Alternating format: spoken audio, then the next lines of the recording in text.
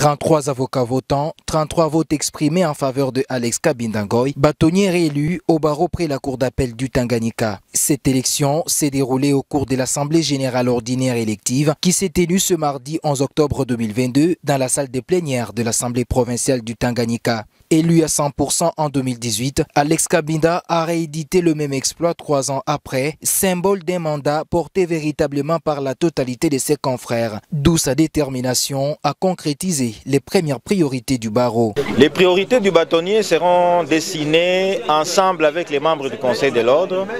Il s'agit de continuer la construction de notre barreau du Tanganyika et sa consolidation. Il y a beaucoup de choses à faire, beaucoup de, de tâches à accomplir et cela se fera dans le cadre de ce qui sera décidé ensemble avec le nouveau gouvernement, c'est-à-dire le nouveau Conseil de l'Ordre.